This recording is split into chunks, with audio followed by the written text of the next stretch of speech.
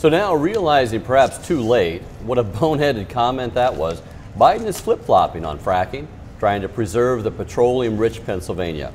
But the former vice president's backtracking may not save him, considering his extreme position on oil.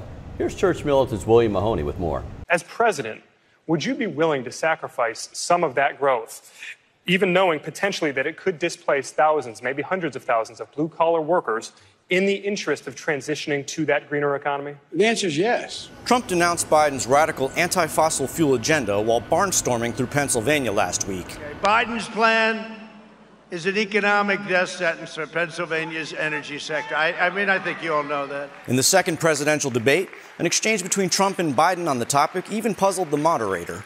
Would you close down the oil industry? By the way, I would transition from the oil industry, yes. Oh, I will that's transition. A big statement. It is a big statement That's a because big statement. I would stop. Why would you do that? Because the oil industry pollutes significantly because it has to be replaced by renewable energy over time. Over 10 million Americans work in the oil and natural gas industry. This, after the final presidential debate, led Trump's former energy secretary and former Texas governor, Rick Perry, to warn in a tweet, quote, Hey, Texas and Pennsylvania, Joe Biden just admitted he would transition from the oil industry, effectively killing an estimated 11 million jobs.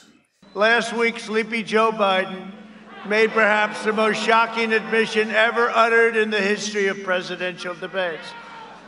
In other words, he blew it. In addition to the enormous loss of jobs, He is Mr. going to destroy the oil industry.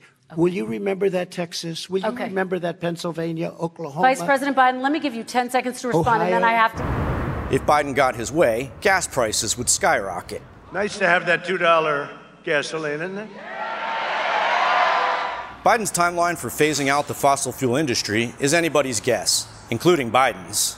We need, we need other industries to transition to get to ultimately a complete zero emissions by 2025.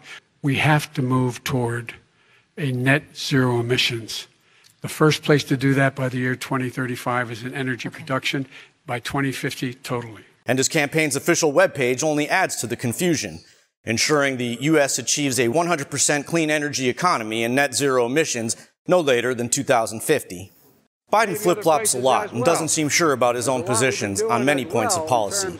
This has led some to wonder who's actually running against Trump. William Mahoney, Church Militant, Detroit. Now, it seems clear that Biden isn't really the one running for president. Now, if he wins, it's likely just a matter of time before Kamala Harris is in charge. And according to recent statements from squad member Ilhan Omar, Dems under Harris Biden would eliminate fracking.